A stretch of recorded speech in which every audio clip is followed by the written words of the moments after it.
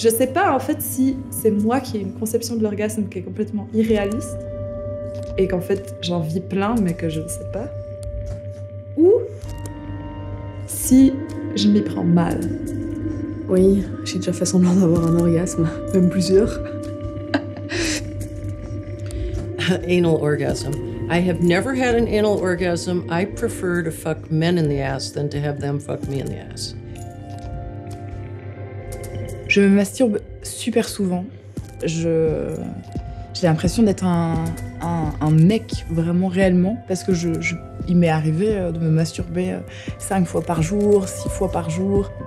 Découvrir euh, le fait que je dois être active et que j'ai un corps qui peut ressentir des choses, c'est presque comme découvrir un droit que je connaissais pas, oui, exactement.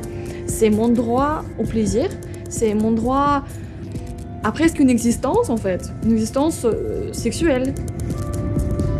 Ça prend chaque partie du corps, ça monte, ça monte, ça monte. Ça monte, ça monte, ça monte. Ça continue, ça continue, ça continue, ça continue, puis c'est l'explosion quoi.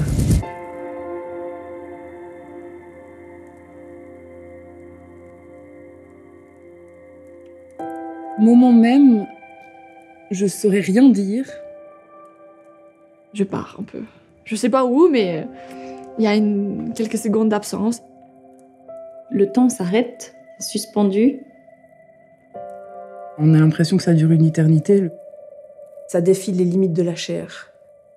J'ai l'impression d'être complètement euh, hors limite et hors temps et hors euh, spatialité. C'est un moment suspendu dans un état de conscience euh, supérieur. It's a very high C'est un des seuls moments où je me sens réellement euh, vivante